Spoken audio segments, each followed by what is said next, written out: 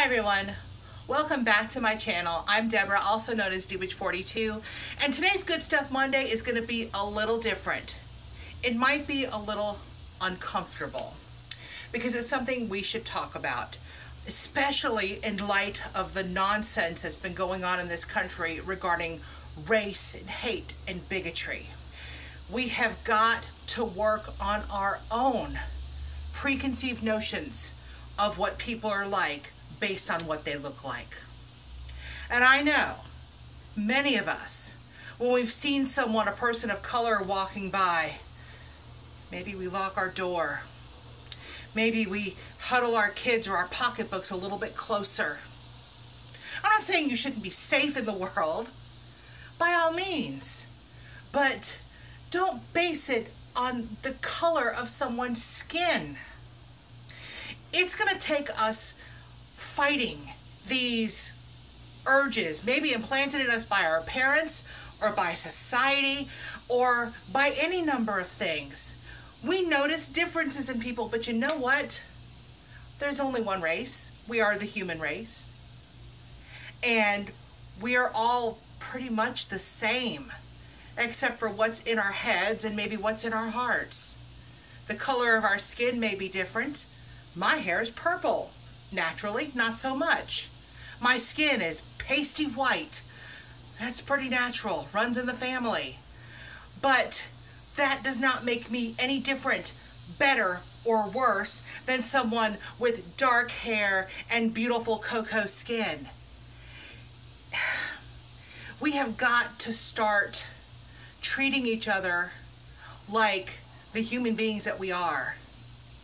And it starts with each of us when you notice that feeling coming up that, oh, they're different, they're other, examine why. When you hear your relatives and maybe your friends saying those words that are so offensive, you know what I'm talking about. The N word. Uh, I have heard people calling people from Mexico and Central America so-called wetbacks. It's wrong. Stop it, especially here in America.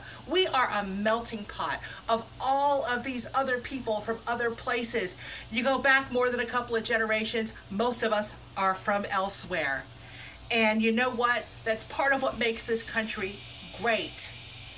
We should be a beacon of humanity instead of a pimple on the butt of humanity like we have been lately. Stop it. Make not only Mondays good, but every day good. Meet your neighbors. You see someone in line at the grocery store? Smile. They're not there to steal your damn pocketbook. They're there to buy groceries just like you are.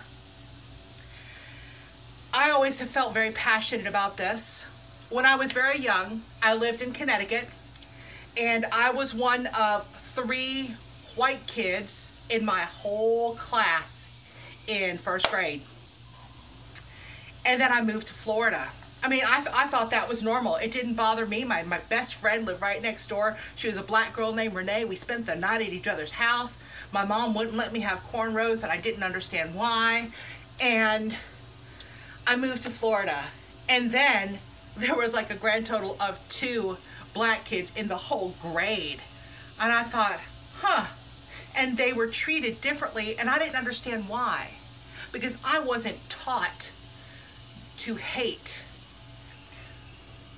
Nobody is born hating. It has to be taught. It has to be learned. And what is learned can be unlearned and updated with new information. Update yourself with new information. Try to update your family with new information. I know that's a tough one call out the folks in your family when they say stuff that's just mildly racist. Just let them know that's not okay. You don't have to start a war on it, but it's not okay. Try leading by example. Don't laugh at the racist jokes. Um, there are other ways to have fun. There are other ways to view people. And I think that we as a society, as a nation, as a world can do it. It's 2017. We should have been living peacefully by now. What happened? Hmm? Thanks for stopping by for this unusual Good Stuff Monday, and I'll see you.